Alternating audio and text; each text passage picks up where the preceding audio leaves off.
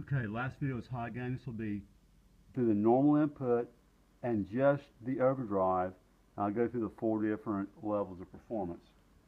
I'll start out with my, my favorite first. You know, I'll, I'll go I'll go in a clockwise direction, I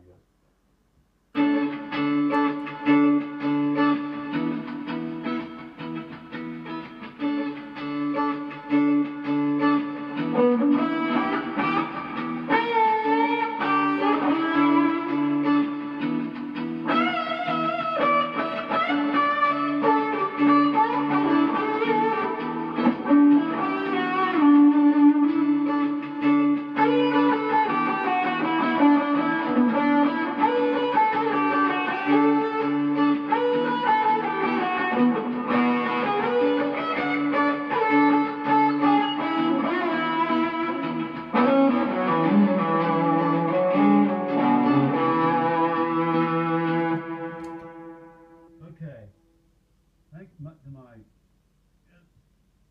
Try this.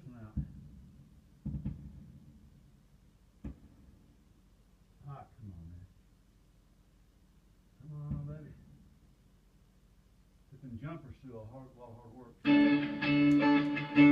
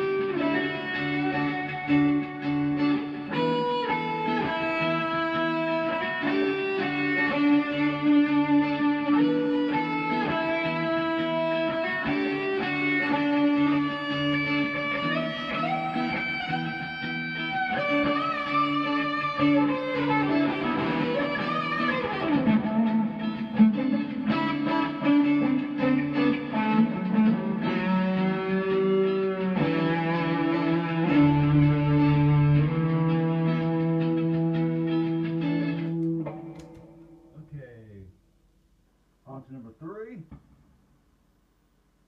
Oh yeah. Here we go.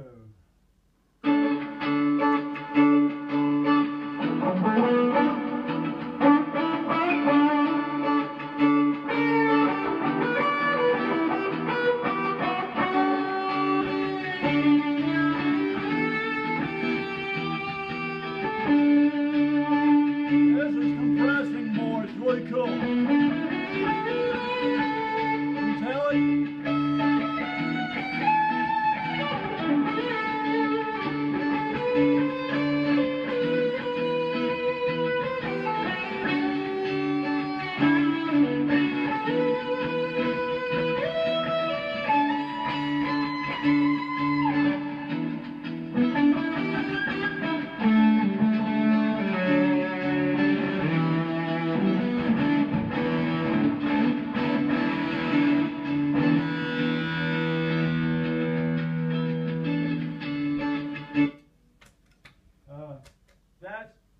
a you know, that's one of my favorites right there uh, with high gain, PAB on but that sound there is, that is truly holy grail tone. Okay, here be the last one. Again, just overdrive. And through the normal input again, and they're all through the normal input.